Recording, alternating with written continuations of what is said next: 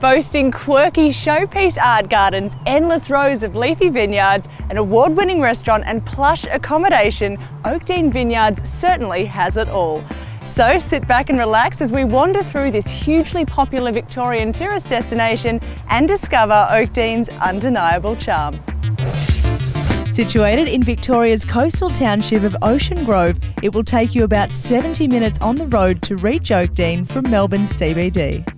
Continuing the expect the unexpected theme prevalent throughout the entire property, the cellar door itself is designed in the fashion of an upside down house.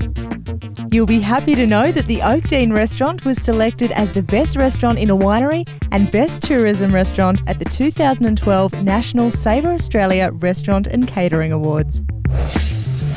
Steve, tell us about the wines you've selected today to match the meals in the restaurant. Well, the first up with the Kingfish dish, we've chosen a white wine, which makes perfect sense. Jessica Sauvignon Blanc, very much a different style of Sauvignon. We've uh, chosen to barrel ferment and oak age the wine to give it some texture and complexity. Uh, next up with the lamb, we've chosen red wine. Chosen Pinot Noir being signature variety of Geelong. Geelong Pinot Noirs tend to offer more texture and weight than other regions. And last up, the celebratory uh, tasting plate. Well, we've gone a little bit out of the box here and chosen a dry wine.